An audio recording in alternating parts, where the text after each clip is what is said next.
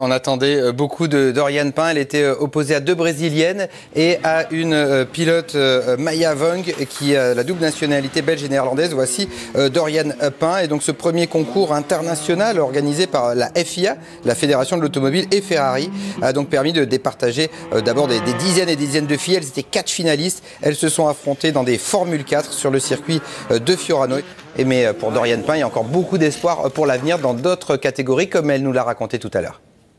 Bah, en début de semaine, euh, Ferrari nous a évolué dans tous les domaines, donc le, sport, le mental, le réflexe et le simulateur. Et euh, jeudi, vendredi, donc ça a été les, deux jours les plus intenses euh, bah, sur le circuit euh, mythique de, de Churano en F4.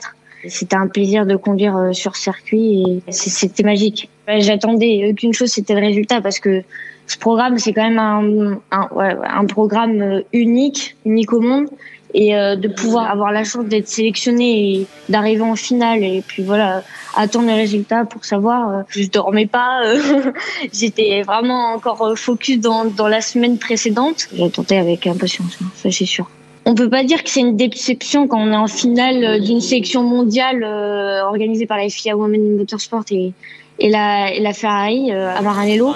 Évidemment, euh, j'aurais voulu gagner, mais euh, je sais que j'ai quand même tapé dans, dans l'œil des ingénieurs Ferrari comme Joe Clear, par exemple la fraîcheur de Dorian Pain. On va revenir maintenant dans le paddock de Formule 1. C'était une